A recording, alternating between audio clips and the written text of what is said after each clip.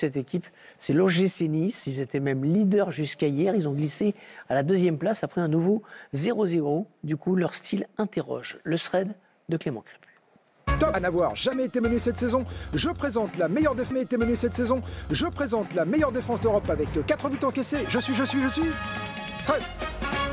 Je suis donc l'OGC Nice et je me trouve sur le podium de la Ligue 1. Et pourtant, cet été, ça n'était pas forcément au programme. Après une saison décevante terminée à la 9 place l'an passé, Nice avait acté plusieurs changements. On a des recettes à l'OGC Nice qui pour l'instant ne sont pas suffisantes. Et donc on repart sur un projet très identifié, très clair aujourd'hui. Mais voilà, le projet euh, évoqué à un certain moment, euh, entre guillemets, de faire un club juste des RPG, pour l'instant n'est plus du tout d'actualité.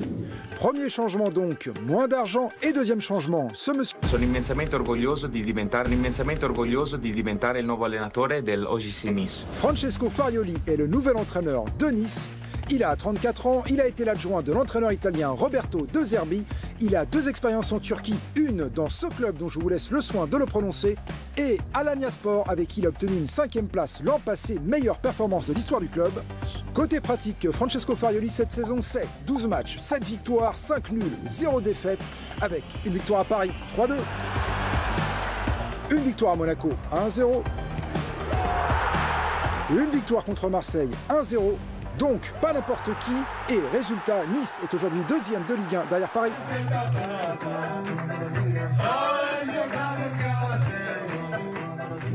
La caractéristique du jeu niçois, c'est avant tout une bonne défense avec seulement 4 buts encaissés, un record en Europe. Mais Nice, c'est aussi 13 buts marqués en 12 matchs, et ça, c'est peu, mais...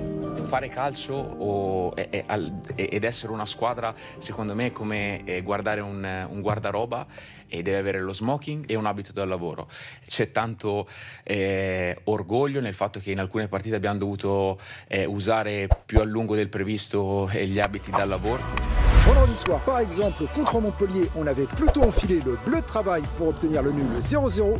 Et si vous voulez en savoir un peu plus sur cette histoire de garde-robe, nous vous conseillons cette thèse intitulée Philosophie du jeu, l'esthétique du football et le rôle du gardien. C'est Francesco Farioli qui l'a écrite.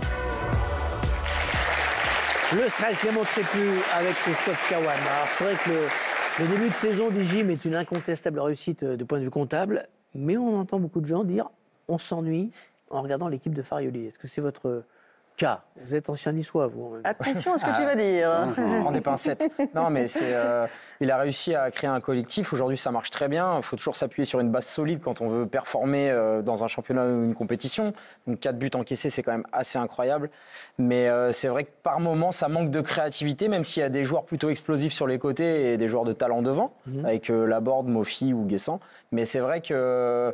Voilà, le style de jeu, c'est plutôt position attentiste et on essaie de contrer. Donc ils ont été pris un petit peu à leur propre piège euh, face à Montpellier vendredi. C'est l'éternel débat euh, du, euh, de la manière et du résultat?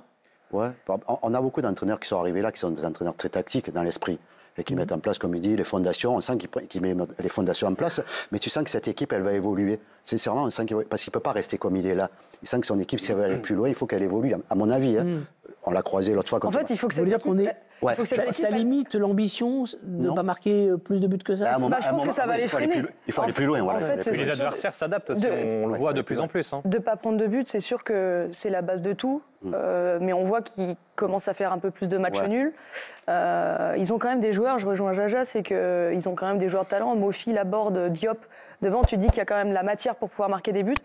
Euh, donc il va falloir qu'ils arrivent à, à trouver l'équilibre avec leur, bah, entre l'équilibre défensif et offensif pour euh, donner un peu plus de spectacle. Mais je, suis- je suis d'accord, je pense que ça peut évoluer aussi avec le temps. Mais pour être dans le top, même le top 3, je pense qu'à un moment, ça va bloquer s'ils restent dans cette. euh, Les joueurs ne s'ennuient pas. En tous les cas, les joueurs ne s'ennuient pas. C'est ça la priorité. Déjà, pour le moment, les joueurs ne s'ennuient pas. On sent que collectivement. Il Bah, faut demander aux attaquants quand même. Non mais, non, mais quand je dis s'ennuient là- pas, ils, non, ils adhèrent. Oui, oui, pour le oui, moment, non, ils prennent des points, bah, ils ils sont- prennent des points. bah, ils sont bien en placés, en plus. Voilà. Après, effectivement, comme on dit, il va y avoir cette évolution. hein. Eh, ce, qui, ce qui est sûr pour le moment, c'est qu'il y a quand même un décalage entre le jeu offensif et séduisant qui a été euh, présenté à son arrivée et ce qu'on voit sur le terrain.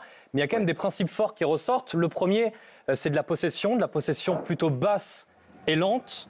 Nice est la deuxième équipe de Ligue 1 qui a le plus le ballon dans sa moitié de terrain.